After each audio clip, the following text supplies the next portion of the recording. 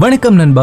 God டெஸ்டினோட அடுத்த எபிசோட தான் பார்க்க போறோம். சோ அதுக்கு முன்னாடி நீங்க நம்ம சேனலுக்கு புதுசுனா மறக்காம நம்ம சேனலை சப்ஸ்கிரைப் பண்ணுங்க நண்பா. காட் டெஸ்டினியோட லாஸ்ட் எபிசோட்ல எப்படியோ யூமோ ஹெவனை விட்டு வெளியே போக அதோட எபிசோட முடிச்சோம். இனிமே என்ன ஆக போகுதுன்னு பாப்போம் இப்ப லூமிங் வந்து யூமோ போறத பாக்குறான் கடவுளே இவங்க கண்டிப்பா அவளை கண்டுபிடிக்கணும். அவங்க ரெண்டு பேருக்கும் எந்த பிரச்சனையும் வரக்கூடாது. அதே சமயத்துல இங்க மருத்துவர் வந்து தலைவனோட உடம்ப செக் பண்ணிட்டு பிரபுவோட மெயின் பவர் ரொம்ப பாதிக்கப்பட்டிருக்கு. அது சரி பண்றது ரொம்ப கஷ்டம். ஆனா இவரோட பரலோக ஆவியை நம்ம எப்படியாவது காப்பாத்தணும். இப்ப அவர் கோமா ஸ்டேஜுக்கு போனதால சுய சுயநினைவுக்கு வருவாருன்னு தெரியல. இப்ப எட்நூறு வருடங்கள் ஓடி போக தலைவன் கோமால இருக்கான். அதே நேரத்துல தலைவி தலைவனை மறக்க முடியாம அவளால அந்த மரவா நதியை தாண்ட முடியல. அவ பின்னாடி வந்த எல்லாருமே தாண்டினாலும் அவளால மட்டும் முடியல. லுமிங் இப்ப நீ லைப்ரரி ஹாலோட சேவகன் இல்ல. ஏன் இப்ப இங்க வர? இன்னைக்கு யாழியோட பிறந்த நாள். எப்பவுமே நாங்க இங்கதான். அதை கொண்டாடுவோம். ஆனா இப்ப அவ இல்ல. அவ மனித உலகத்துல நிம்மதியா இருப்பேன்னு நம்புற. நீ யாழி நினைச்சு ரொம்ப கவலைப்படுற. அதை மறக்க இந்த லிஸ்ட வந்து பாரு. நம்ம இடத்துல இருந்து போனவங்க எல்லாருமே மரவா நதியை கடந்துட்டாங்க. ஆனா ஒரு பொண்ணால மட்டும் எட்நூறு வருடங்களா நதியை கடக்க முடியல. குறிப்பா ஒரு மனுஷன் வந்து தொள்ளாயிரம் வருடங்களுக்குள்ள அந்த நதியை கடக்கணும். ஆனா பாவம் இவ. இப்ப இவளுக்கு இன்னும் ஏழு நாட்கள் தான் இருக்கு. அதுக்குள்ள இவ கடக்கலனா அவ மறைஞ்சு போயிருவா. அதை கொடு. உடனே அவன் அதை வாங்கி பார்த்தா அது வேற யாரும் இல்ல. நம்ம தலைவிதான் என்னால எதுவும் பார்க்க முடியல. வலிகளையும் உணர முடியல. ஆனா என்னோட இதயத்துல இருக்கிற வலி மட்டும் இன்னும் அப்படியே இருக்கு. ஏன் என்னால அவனை இன்னும் மறக்க முடியல? இப்ப தலைவி நம்ம தலைமை இருந்தால அதே ஸ்டேட்ல தான் இருக்கா? அவளுக்கும் கண்ணு தெரியாது. அவளோட வழியை கூட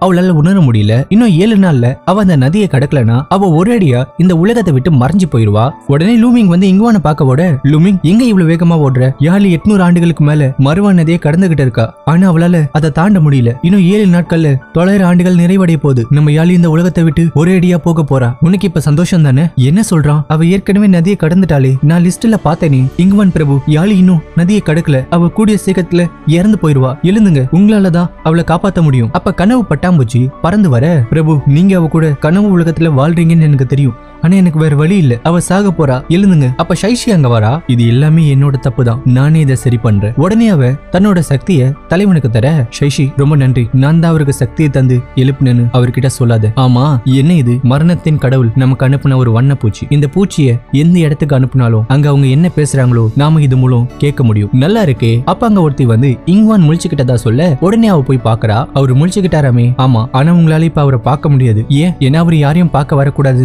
சொல்லியிருக்காரு. ஆனா கூடிய சீக்கிரத்துல அவர் அரண்மனைக்கு திரும்ப வந்துருவாரு. அங்க நீங்க வந்து பாருங்க. சரி உடனே அவ போக ஆனா அந்த வண்ணத்து பூச்சை அங்கேயே விட்டுட்டு போறா. இது உண்மையா? ஆமா. அவளால அவளோட கடந்த காலத்தை மறக்க முடியல. பாவம் அவ. எட்நூறு வருடங்களுக்கு மேல அவ அந்த நதியை கடக்குறா. பிரபு யாழிக்கு கடவுளா மாறலாம் ஆசை இல்ல. அவ உங்க கூட வாழ மட்டும்தான் ஆசைப்பட்டா. ஆனா நீங்க அவளை ஏத்துக்கல. எனக்கு அது ஏன் தெரியும்? ஆனா இப்ப அவ இறந்து போக போறா. ஏன்னா தொள்ளாயிரம் ஆண்டுகளுக்குள்ள அவ அந்த நதியை கடக்கணும். இன்னும் எத்தனை நாள் இருக்கு? நான் இதை கண்டுபிடிக்கும் போது அவளுக்கு ஏழு நாள் இருந்தது. ஆனா இப்ப வெறும் மூணு நாள் தான் இருக்கு. நான் அவளை விட்டு வந்தா அவ என்ன மறப்பான்னு நினைச்சேன். ஆனா அவ என்ன இன்னும் மறக்கல. எனக்காக அவ இதயத்தோட ஒரு பகுதியை தந்தா. ஆனா நான் அவளுக்கு வெறும் வழியை மட்டும்தான் தந்தேன். உடனே தலைவன் போக இதுதான் விஷயமா? அவளை எப்படி காப்பாத்துறாருன்னு நானும் பாக்குறேன். அப்ப தலைவன் மரண பள்ளத்தாக்குக்கு வர பிரபு உங்களை இதுக்குள்ள அலோ பண்ண முடியாது. உடனே போயிருங்க. என்னோட வழியை விட்டு விலகி போங்க. அப்படின்னு சொல்லி தலைவன் அவங்கள தாக்க போக ஆனா உன்னத கடவுள் அங்க வந்துடுறாரு. இங்வான் பல ஆண்டுகளா நீ கோமால இருந்த. ஆனா முடிச்சதும் நீ மறுபடியும் உன்னோட கடமைகளை மறந்து சட்டங்களை மீற பாக்குற. உன்னத கடவுளே என்னோட இதயத்துல யாரும் மரண நதியில கஷ்டப்படுற மாதிரி இருக்கு. நான் அங்க போகணும் இங்வான் மறுபடியும் தப்பு பண்ற. தப்பு நான் பண்றதுனால நானே எனக்கு தண்டனையை தரேன். உடனே ஐஸ் டேகரை வெளியே எடுத்து என்னோட முதல் தப்பு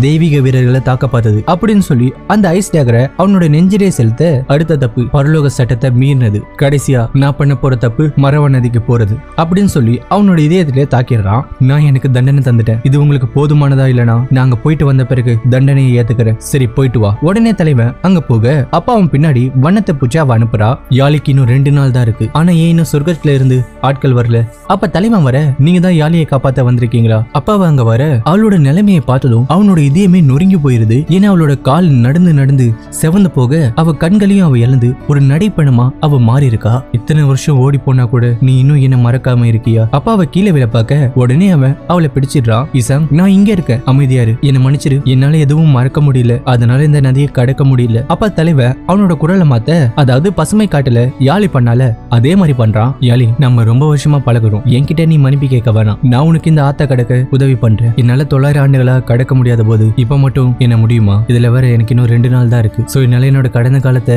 மறக்க முடியாது. ஆனா பாரு என்னோட பார்வை என்னை விட்டு போச்சு. நடந்து நடந்து என்னோட கால் மறத்து போச்சு. என்னால உணவு சுவையை கூட உணர முடியல. ஆனா இன்னும் கூட என்னால அவனை மறக்க முடியல.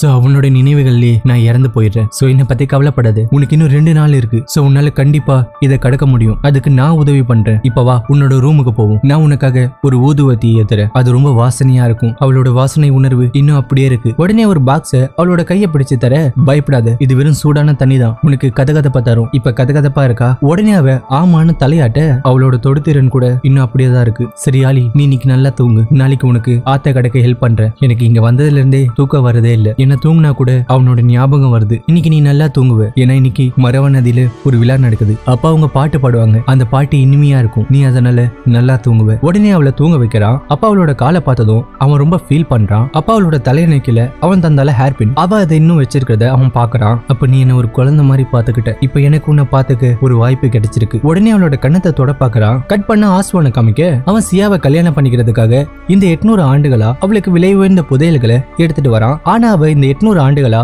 உடம்பு சரியில்லாத மாதிரி ஒரு காரணத்தை சொல்லி ஆஸ்வானை ஏமாத்திக்கிட்டு இருக்கா. நான் சில நாட்களுக்கு முன்னாடி கிளம் குளத்துக்கு போனேன். அப்போ இந்த முத்து அமுதத்தை வாங்கினேன். இது அவளுக்கு கண்டிப்பா பிடிக்கும். அவகிட்ட இதை தாங்க. ஹைனஸ் இளவரசிக்கு இன்னும் உடம்பு சரியாகல. அவங்க இன்னைக்கு உங்களை பார்க்க முடியாதுன்னு சொல்லிட்டாங்க. இளவரசி எத்தனை நாள் இப்படி அவர் ஏமாத்த போறீங்க? அரசி உங்களை உள்ள அலோ பண்ண முடியாது. ஹேய் உனக்கு உடம்பு சரியில்லைன்னு சொன்னேன். ஆனா பார்த்தா அப்படி தெரியல. என்கிட்ட போய் சொன்னியா? எல்லாரும் வெளியே போங்க. உடனே அவங்க போனதும் ஆமா நான் நடிச்சேன். இப்போ என்ன பண்ண போற? இது ஒன்றும் உங்க இடம் இல்ல எங்க இடம். பார்த்து பேசு. இல்லனா இந்த கல்யாணத்தை ரத்து பண்ணிடுவேன். கல்யாணத்தை நிப்பாட்ட போறியா? சரி வா உன்னோட அப்பா கிட்ட பேசலாம். என் கையை விடு. அப்பா கிட்ட இருக்கிற ஒரு ஓடி கீழே விழ. உடனே ஆசுவா ஆசுவான் அதை எடுத்துட்டு ஆசுவான் அதை என்கிட்ட கொடு. உனக்கு இது வேணுமா? என்ன கல்யாணம் பண்ணிக்க ஒத்துக்கோ. அப்ப நான் உனக்கு இதை தரேன். உனக்கு என் மேலதான் எந்த காதலும் இல்லல அப்புறம் ஏன் இப்படி இருக்க? ஆமா நீ சொல்றது உண்மைதான். எனக்கு உன் மேல எந்த காதலும் இல்ல. ஆனா நான் எங்க ராஜ்யத்தை பலப்படுத்த உன்னை யூஸ் பண்ணிக்கிறோம். சோ என்ன கல்யாணம் பண்ணிக்கிட்ட பிறகு இதை வந்து வாங்கிக்கோ. போன காரியம் என்னாச்சு? அப்பா என்னால இன்னைக்கும் அவளை பார்க்க முடியல. ஆனா சீக்கிரமா ஒத்துப்பான்னு நினைக்கிறேன். எப்படி? இது மூலம். அவர் அதை பார்த்ததும் ரொம்ப ஷாக் ஆகுறாரு. இது உனக்கு எப்படி கிடைச்சது? என்னப்பா இது? பார்த்ததும் ஷாக் ஆகுறீங்க? இது ஒன்பது மீன் இருக்கோட ஒரு ஓடு. அப்படின்னா என்னப்பா? அவங்க ஒரு பழமையான குலம் அவங்க நெருப்பு மற்றும்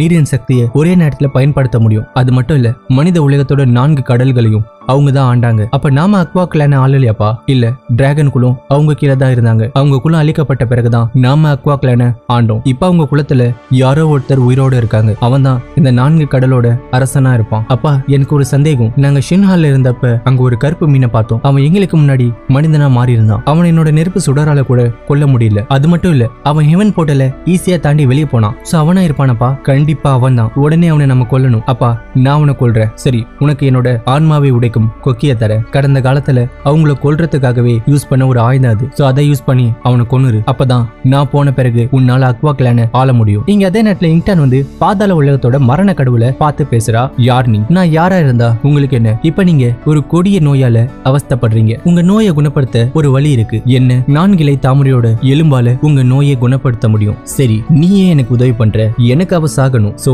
அதான். அவ இப்ப எங்க இருக்கா? உங்க இடத்துல இருக்கிற மரவா நதியில தான் அவ இருக்கா. ஈசா நாம எங்க இருக்கோம்? இது வழக்கமான இடம் மாதிரி இல்லையே. இங்க யாரும் பொதுவா வரமாட்டாங்க. சோ அதான் உன்னை இங்க கூப்பிட்டு வந்தேன். ஏன்னா இந்த இடம் ரொம்ப அழகா இருக்கும். அழகா இருந்து என்ன ஆக போகுது? எனக்கு தான் கண்ணு தெரியாதே. கண்ணு தெரியலனா என்ன? உன்னாலதான் உணர முடியும்ல? உடனே அந்த இடத்துல தாமரை பூக்களை உருவாக்குறான். இந்த வாசம் தாமரை பூ வாசம் மாதிரி இருக்கு. ஆமா அதேதான். யாலி உன் கூட சேர்ந்து பூக்களை பாக்குற நம்ம வாக்குறுதியை நான் கடைசியா நிறைவேத்திட்டேன். அப்ப அவன் கிட்ட இருக்கிற கனவு பட்டாம்பூச்சி கூட்டை விட்டு வெளியே வர அப்ப அது யாழி கிட்ட போது பட்டாம்பூச்சியா? இங்க எப்படி பட்டாம்பூச்சி? இங்க பல வகையான உயிரினங்கள் வாழுது. ஆனா பட்டாம்பூச்சி ரொம்ப ரேரானது. அதுல ஒண்ணுதான் நீ இப்ப பாக்குற. ஆனா மனித உலகத்துல உன்னால நிறைய பட்டாம்பூச்சிய பார்க்க முடியும். அங்க மழை வெயில் பனி காத்து எல்லாத்தையும் நீ பாப்ப இசாங் ஆனா என்னால தான் என்னோட கடந்த காலத்தை மறக்க முடியலையே. சோ என்னால எப்படி அங்க போக முடியும்? நீ விரும்பினா நான் உனக்கு உதவி பண்றேன். அப்ப இசாங் அங்க வர. நீங்க உடனே அவன் அவனை பேச விடாம தடுக்கிறான். ஆமா யார் அது? அவன் இங்க வேலை பாக்குறவன் தான். அட கனவு பட்டாம்பூச்சி. என்ன கனவு பட்டாம்பூச்சியா? அதோட கூடு தான் அழிஞ்சு போச்சுல. இப்ப எப்படி அது கூட்ட விட்டு வெளியே வந்தது. நான் புக்ல படிச்சிருக்கேன். உண்மையா காதல் உள்ளவங்களால மட்டும்தான் கனவு பட்டாம்பூச்சியை கூட்டை விட்டு வெளியே கொண்டு வர முடியுமா? உடனே தலைவன் அவனோட வாயை மூட.